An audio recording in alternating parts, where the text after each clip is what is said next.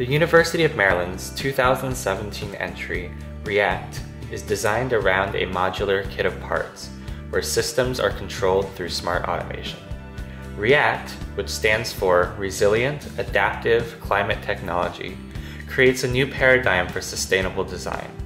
A single family home that will work in partnership with nature to not only enhance ecosystem quality, but to regenerate it.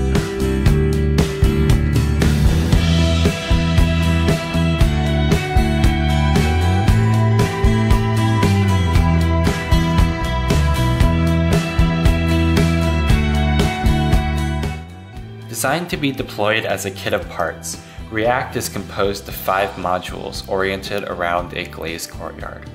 The courtyard is employed to bring daylight and a sense of spaciousness to the interior, while operating as a solar collector, preheating air and water. React boasts a panelized interior with living systems fully separated from structure, allowing the home to easily adapt to its occupants' changing needs.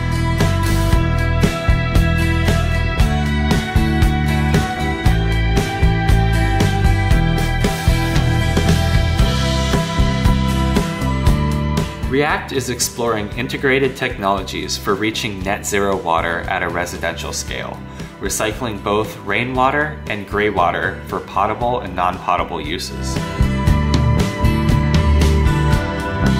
React combines state-of-the-art PV and lithium-ion battery systems to optimize energy balance with the local electric grid.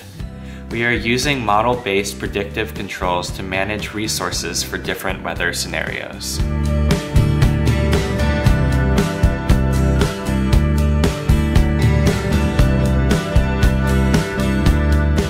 React incorporates both new and existing green technologies to integrate the carbon and ecological cycle while aiming to lower the overall footprint of the house.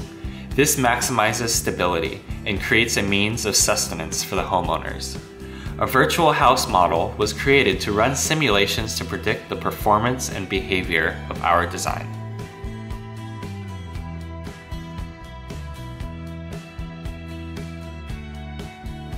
Our target market is represented by a young Nanticoke Indian couple starting a family in Denver, Colorado. We found inspiration in a well-defined market whose members are deeply tied to nature, whose values are ecologically grounded, and whose culture reveres Mother Earth.